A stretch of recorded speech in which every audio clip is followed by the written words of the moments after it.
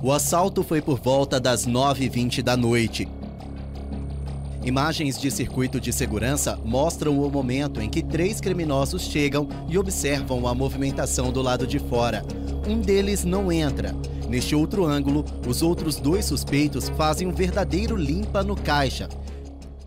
O elemento chegou aí já anunciando o assalto. Já pediram meu celular, já entreguei. Aí já mandou eu sair de dentro do balcão, dentro do balcão já fui para fora, mandou eu abaixar, ficou eu e a minha colega abaixada, mas estava abaixada, a pegar o dinheiro do caixa, juntando o dinheiro do dia. Ficaram o terror aqui dentro, falando não olha, não olha, né? Porque se olhasse eu era perigoso meter uma bala, que os dois estavam armados.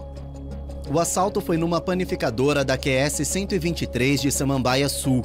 De acordo com o dono do local, os criminosos se escondem neste terreno baldio atrás do comércio.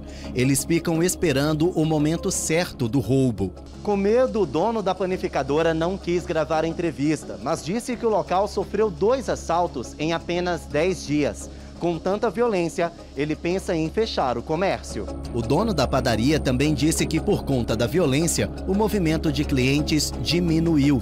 Na tarde de domingo, o comércio estava assim, vazio.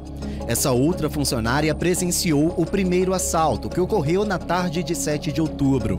Ela disse que são os mesmos criminosos. Ali dentro do balcão, eu tinha acabado de pegar minha garrafinha para beber água. Quando eu olhei, o cara chegou, um entrou, e já ficou na frente do caixa pra, pra caixa e o outro veio e puxou a dona pelo braço e falou, bora, fica quieta. O tempo todo gritando, bora, faça o dinheiro, senão eu vou atirar em vocês.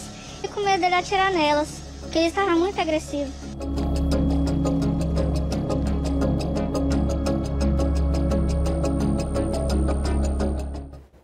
Olá, vamos embora. Segundona, JL no ar. Pois é, quem aguenta, né? Duas vezes assaltado em dez dias. Duas vezes. Dois assaltos. E dessa forma aí, não é? Bandidos totalmente sem limites, né? E quem disse pra gente que algum dia bandido teve limite na vida, né? Meio dia e 52 minutinhos. Se você tiver qualquer informação que ajude a polícia a chegar nesses caras aí, olha, é só você ligar no 197, tá bom?